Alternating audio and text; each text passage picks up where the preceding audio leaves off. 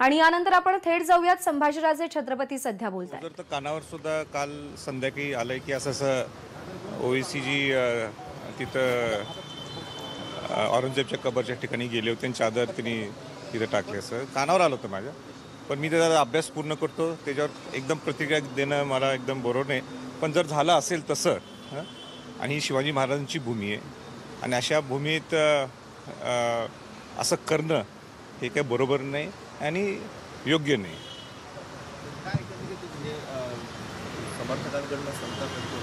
नाही मला काय नाही नाही मी- एवढंच मी ह्याच्या प्रसंगी सांगू इच्छितो की ते मी आता काल उशिरा मी पोचलो तेव्हा मला डिटेल्स माहीत नाहीत. पण जर तसं झालं असेल तर ते बरोबर नाही ते योग्य नाही आणि शिवाजी महाराजांच्या भूमीत तर हे योग्य नाही. राज्यामध्ये दुष्काळ- आहे एकीकडे महागाई वाढते. आपण नवीनच संघटना स्थापन केली. ह्या सर्व प्रश्नांकडे कसं बघणार आहे आपण नाही एक लॉंग टर्म प्लॅनिंग असणं गरजेचं आहे. या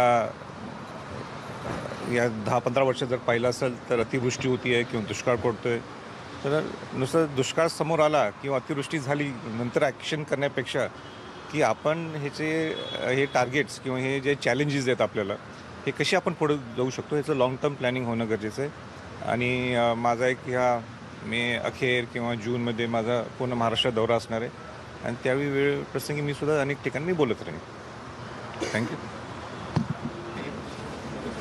च्या वक्तव्याबद्दल आणि कृत्याबद्दल मला पूर्ण माहिती नाही. या सगळ्या संदर्भातली पुढ- पूर्ण माहिती घेऊन मी बोलेन असं संभाजीराजे छत्रपती म्हणालेले आहेत. पण औरंगजेबाच्या कबरीपुढे नतमस्तक होणं हे चुकीचं आहे. शिवरायांच्या भूमीमध्ये हे प्रकार घडता कामा नयेत असंही संभाजीराजे म्हणालेत.